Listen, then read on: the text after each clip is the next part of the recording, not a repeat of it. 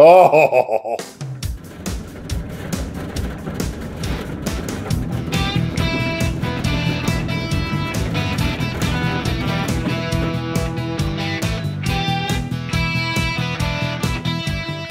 What up, party people? I'm DIY Dane. This is a Longshot Garage, and I am back. You may have seen the last video where I installed these cabinets. They were from Lowe's. They're Diamond Now cabinets. They're available off the shelf. They're pre-built. They're affordable. And you know what? I like them a lot. Well, now I have to top these cabinets off with some countertops. I got a quote to do quartz. It was 1600 bucks. That was a really good deal, but this is a small kitchen and I don't have that kind of budget and I don't have the time to wait for it to be manufactured. So you know what I did? I found another bargain item off the shelf at Lowe's, laminate countertops. Yes, that's right, laminate. I know what you're thinking. My grandma had laminate. I don't like laminate. Laminate's ugly. It's changed. Laminate is not what it used to be. They realized that no one wanted it and they came out with some great new styles that look like stone, like granite, like marble. You've got to check out the new laminate options that are out there. I did and I'm glad I did. Well, I'm about to install laminate countertops on these counters on these cabinets and I'm going to show you how to do it and save a bunch of money. Check this out.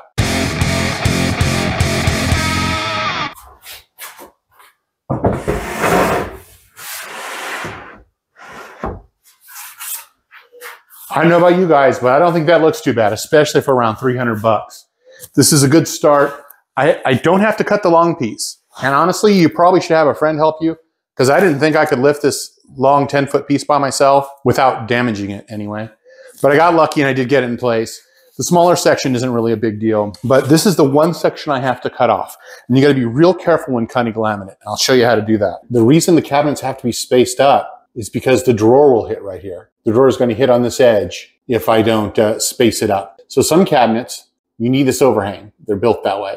These cabinets, you need the spacer. These are three quarter inch pieces I cut to fit, nailed them in place, and they'll do exactly what I need them to do. I was careful to leave a gap at the edge because I do need to nail a piece of particle board to the bottom of the laminate countertops for the end piece that gets ironed on. I was careful not to nail any of my spacers in the way of the sink. I don't know if you can tell, but there's very little gap and that whatever is there is gonna fill film silicone just fine. Coming from the other side, there's a much bigger gap. So I got the countertop lined up square with the face of the cabinet the best I could because I can't really go by the other piece quite yet because it's gonna need some little bit of trimming to get it all kind of in place. But I know my big holdup is this back corner where it's touching, but I have a large gap up here. So I'm just going to use my pencil to describe it, but rather than messing with a compass like I would normally do, I'm just going to put the pencil on the wall and roll it along the edge. I've got this section of the countertop exactly where I think it's going to land. I marked out my line, being careful to really pay attention to where the face frame ends, because that's really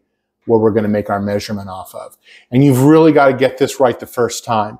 Not only can't you add any more material once you cut it off, but you also don't want to cut this close and then plan on trimming, say, another eighth inch or another 16th inch, not with the finished laminate edge. If it was raw wood and you were going to add the laminate later, yeah, that'd be no problem at all. But this is a situation where you've really got to measure twice, three, four, five times and make sure you only cut once. As of right now, this is all the material I need to take off of this piece. I'm sure there'll be a little adjustment along the way, but I'm going to start here and see where that gets me. And to remove this material, I'm using a belt sander. When you use a belt sander or any power tool, you should always use proper hearing and eye protection, which I'm totally doing.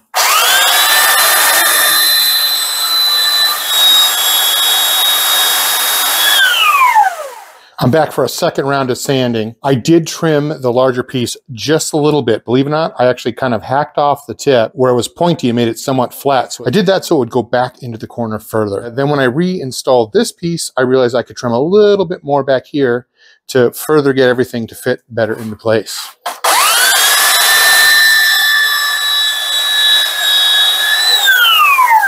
I'm actually going to shave down the tip a little. Sounds crazy, but I'm going to do it.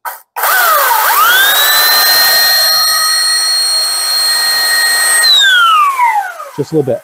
I took my time on this corner to get the pieces lined up with a nice tight gap. In the end, what I was able to do is tighten up the gap on this wall, which was really pretty big, even with the old countertops. This used to be a quarter inch gap. Now it's an eighth inch gap. So this mark here is the cabinet itself, and this here is the face frame. That is the furthest out mark I have. And I've added a quarter inch on top of that because it can't be under. And if it's over a little bit, that'd be fine. So I used a framing square on the front, drew myself a line and that's my cut line. I double checked the front versus the back. The back didn't show me a square measurement, but the front did. That's why I'm measuring off the front or squaring it off the front anyway. And now I'm going to take some measurements just to double check. I'm 11 and 3 quarters off the edge, front and back. Square that way, square that way. Next up, I'm gonna nail a fence to the countertop bottom so that I can run my circular saw along that fence and get a really, really straight cut. So I'm marking out where I'm gonna install a fence so I can get the cut exactly where I want it. I started by setting the circular saw in place and putting the blade right on the line that I want to cut. Then I made a mark at the end of the shoe at the bottom of the circular saw. Then I measured and I have 11 and 3 quarter to the line I want to cut, and 5 and a half from the uh, edge of the shoe to the blade. And that leaves me with 17 and a quarter, which is right where my mark is. So I know that I can mark 17 and a quarter along this bottom of the uh, countertop, and it'll put me right where I want to be. On top of that, I'm going to check with a framing square. Everything's lining up so far. This isn't an easy cut. The fence is going to help but I have to cut up now the back, across the bottom, which isn't so bad. Then I have the lip at the edge I've got to cut around. Being careful not to damage the laminate.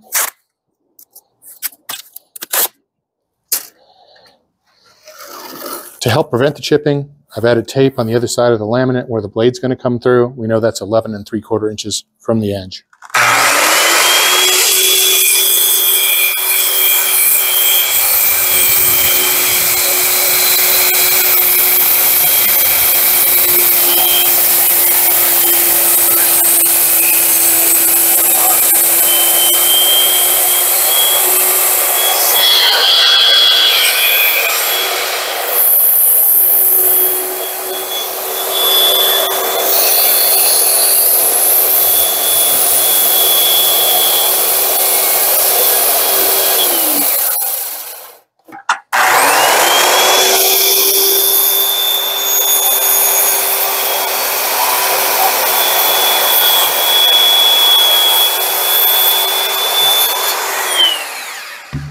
I actually left the front and back so it wouldn't fall off because I don't want it to break laminate. Now I've got to make those cuts very carefully. This was a nerve wracking cut. I took my time and I made it happen and it's just right.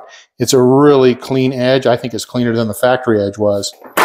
Next up is the end cap kit. So basically, you get these pieces of particle board that you nail into place and then you iron on this piece of laminate. Then of course you have to trim it, preferably with a router. I'm not going to lie, I suck with a hammer. You want to get that piece of particle board lined up real nice with the edge. And then try not to knock it out of the way as you nail it in place. Okay. That doesn't suck. My fingers are going to fat. I'm not going to lie. I'm going to keep that edge lined up along the way.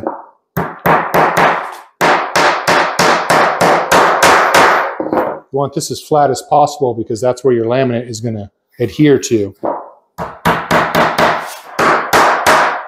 What were they thinking with nails? I'm not sure how you would actually nail the end piece in place. This was easy because I was on a firm surface. This is not. Whatever, sometimes you just got to improvise. I'm to glue this in place. And in fact, I'm to glue the other end. I don't like the nails. This stuff's too delicate to hammer. I got glue and I got clamps and I ain't scared. What does Puddin say? Mama didn't raise no punk. Yeah, this is what I think of your nails. The provided nails were fine, but because I wasn't a fan, I'm gonna go ahead and add a few nails with the pneumatic nailer.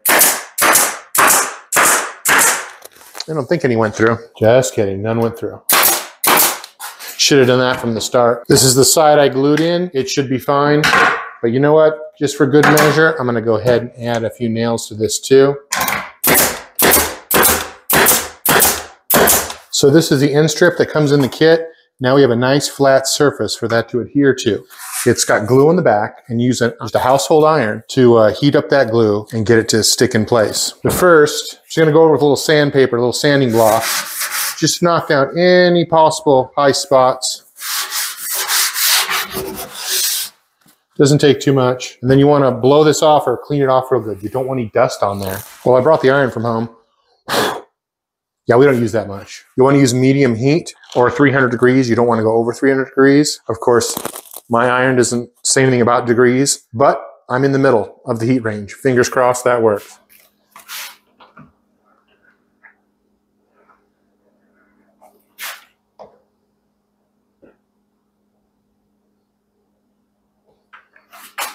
So I think this back corner wanted to curl up a little bit because it was pulling away, but the glue was hot. So I got the damn cloth to cool it down and hopefully set that glue. Seems to be holding now. So you use a router with a flush trim router bit. And you don't want your router bit to stick out too far.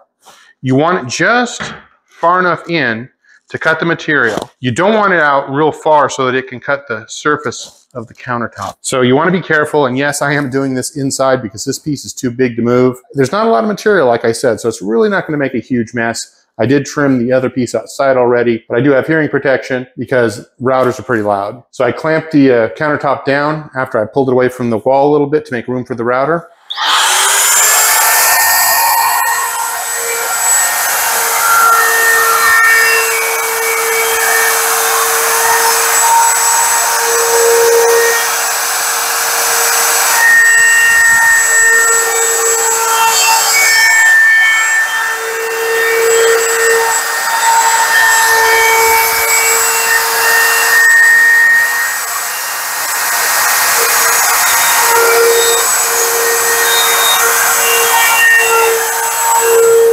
Sometimes when you do DIY stuff, you've got to improvise. Here's a perfect example.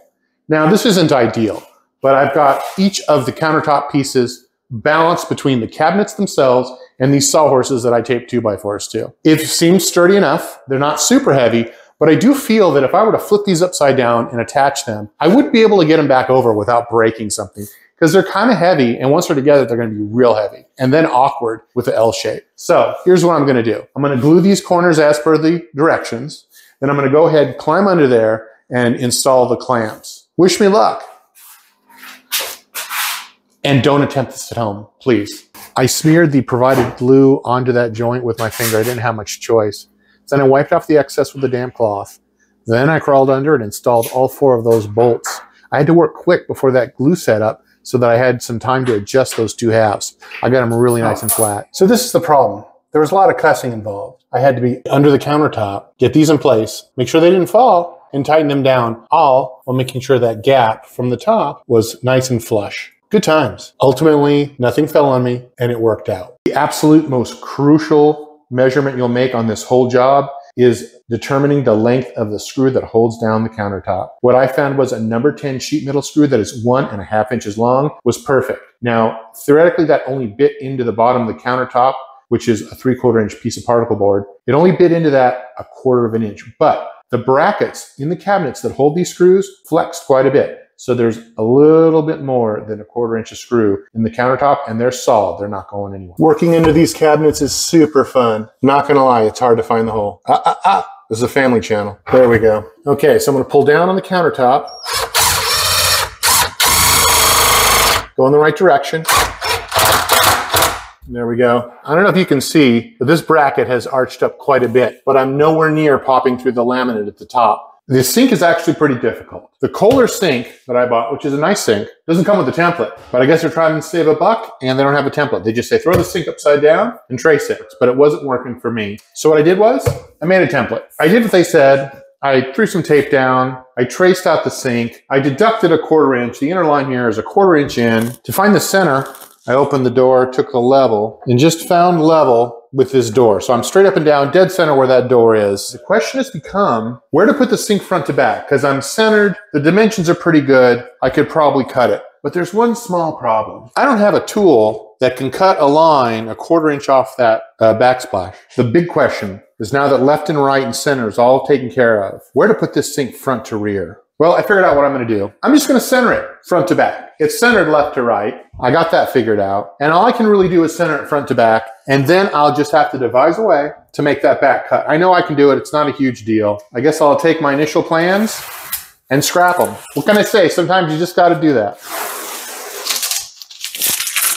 I got rid of the dishwasher. Maybe I can just get rid of the sink. No? Yeah, probably not.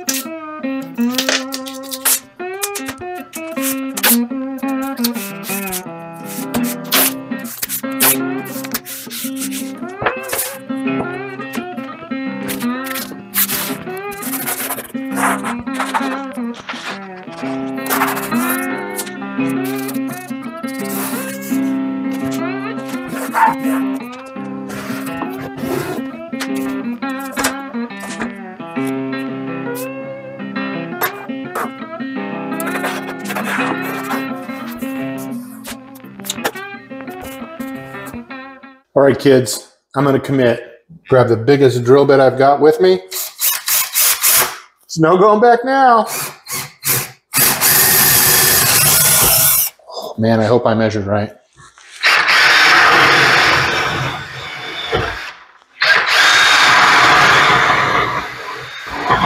I like clean cuts and I cannot lie. I hope I don't get a copyright strike for that. Blade selection when cutting laminate is really important. What I'm going to use is this actual laminate cutting blade for my Bosch jigsaw. I'm sure most blades or most jigsaws have a variety of blades you can choose from like this.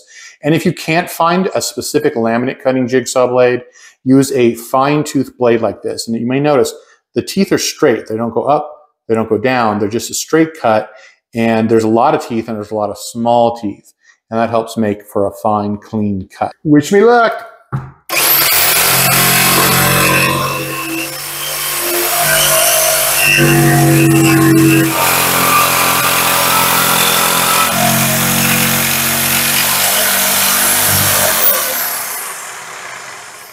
Good idea to let the blade stop before you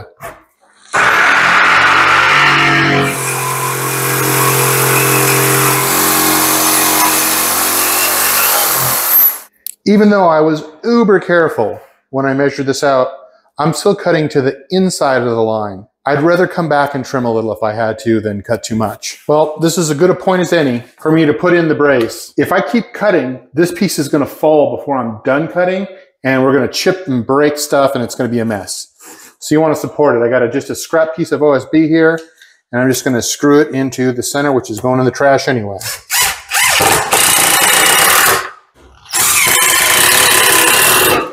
Now I have to go get another saw to cut the back.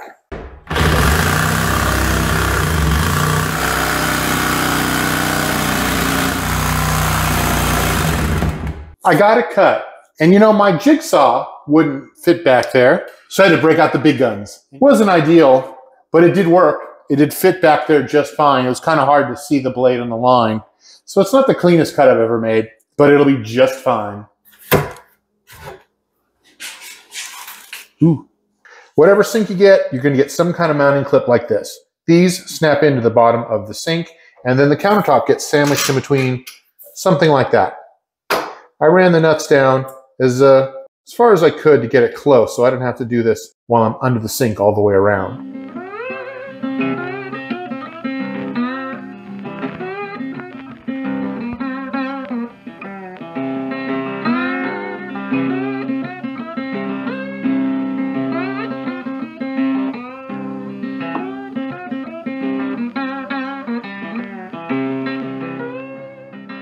Taped up the hoses.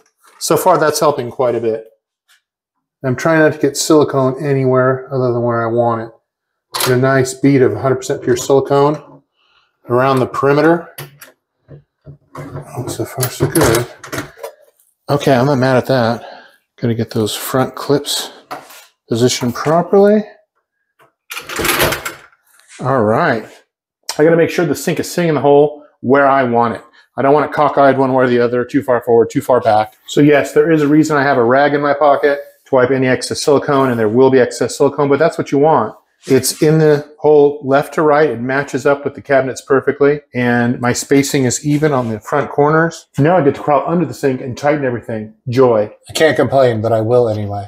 Right now, I'm just going to go through and tighten down these nuts just by hand. Here's what it looks like under the sink. There's those clips, and you want to tighten those down, snug them down, but not too tight. You can see the silicone squeezing out. That's good. We want plenty of silicone to keep water out of here. There is the bottom of the faucet. So this collar right here, that spins on the threads, and then you tighten it down with the screws. Using a socket to tighten down these. That's our under the sink fun. I got a fresh tube of Alex Plus latex acrylic caulk. It's white, it's paintable, it's water soluble. So in case you didn't know, you can cut the tip off the caulk with your caulking gun, at least the better caulking guns. Then there's this little rod in the front that you've got to stick down there to break the seal. I tend to keep a paper towel handy at all times for just such things. Don't forget to put that away. You will poke yourself. All you do is caulk along the gap. Now I have a bit of a gap here on this side.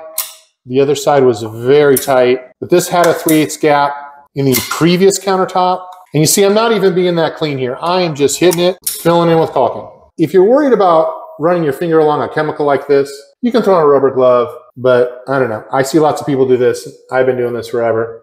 Not dead yet. Again, paper towel comes in handy. Now I have a bucket of water and I have a sponge. And this is the kind of sponge you get at the uh, tile aisle for grout. You can use any sponge, but these work great. The rounded corners really help. You don't want to wipe the caulking out of the corner. You just want to smooth it out and wipe away any excess. And that's it. You know, you probably can't see it on camera, but it is a clean, clean joint. I love it. Well, that's it. This kitchen is done. It's done as far as I'm going to do it anyway. You know, I was pretty happy with these laminate countertops. They went in fairly easily with minimal cussing. The hardest part, I would say, is cutting the edge. And if you take your time with that, you'll be fine. And really what I didn't expect was joining the corners was pretty difficult. Uh, but it's, it's, it's doable. Anybody can do it. And I think they look good. What do you think? Do they look like granite? Would you do laminate in your project? I'm in these countertops, 350 bucks. I don't think you can beat that. And I didn't have to wait for them. That's a big deal right now. And, you know, it really any time when you're talking about getting stone done, you're a few weeks out. That's a difficult product to work with and it takes time for them to get everything just right for your kitchen. Well, I picked these up at Lowe's and I installed them the same day. Honestly, I don't think you can beat them. That's it for this one. I'm done. I'm over and I'm on to the next project. Pretty soon I'm going to do a video on the Longshot Garage and what, really what it's all about because it's, it's not about kitchen remodels like this. I'm finally getting somewhere with a project I'm doing and I'll give you an update here uh, within the, one of the next few videos. But that's it for now. Thanks for watching. And remember, if I can do it, you can do it.